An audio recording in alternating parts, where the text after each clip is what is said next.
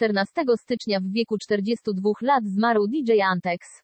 Muzyk ciężko przechodził zakażenie koronawirusem i z tego powodu przebywał w szpitalu w Oleśnie na Opolszczyźnie. W Wigilię Bożego Narodzenia przekazał za pośrednictwem Facebooka, że wykryto u niego COVID-19. Wrzucił zdjęcie z maską tlenową i napisał, że święta w tym roku będą dla niego nieco inne niż w poprzednich latach.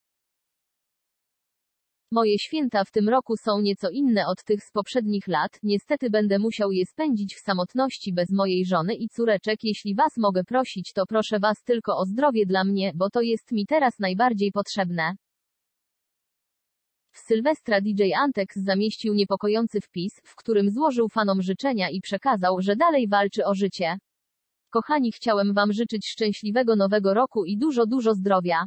Ja walczę dalej o moje życie. DJ Antex grał w klubach w całej Polsce ponad 20 lat, był rezydentem klubu Protektor Brzeski. Informacja o śmierci DJ-a Antexa poruszyła wielu jego kolegów muzyków. W mediach społecznościowych zamieszczają wpisy, w których żegnają przyjaciela. W rozmowie z TVN24.pl DJ Hazel mówił, że Antoniewski był przede wszystkim dobrym człowiekiem.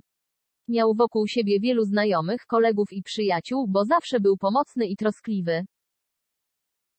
Damian perfekcyjnie selekcjonował materiał, miał umiejętność trafiania nim do serc ludzi.